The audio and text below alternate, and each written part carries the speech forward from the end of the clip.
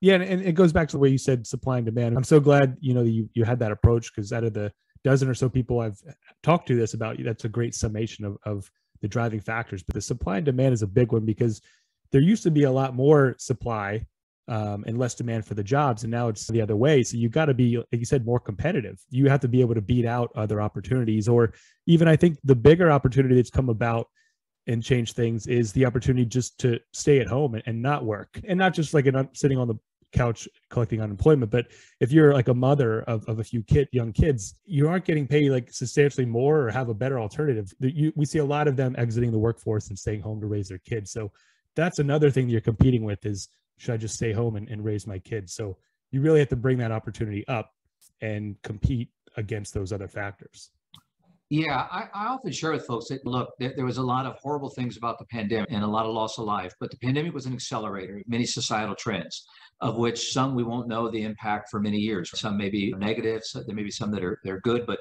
to your point, when it comes to this employment market, the whole idea of working from home, telecommuting, there's uh, hybrid jobs are now the new norm. But in our world, that's not hybrid jobs are not an option out of home entertainment. Yeah. But the very fact that we're social creatures and we want to be outside and interact, that's where we come into play. And mm-hmm. I always say that in our business, we we work when everyone else plays and we play when everyone else works. We've got to be in, in that space there. And I, I think one of the things that most people don't really realize is that there's some underlying demographic trends that have been happening for many years. Some go back 40 years that again, the pandemic accelerated. And we are, we're a society that's aging. We're a society, a country now that's facing underpopulation.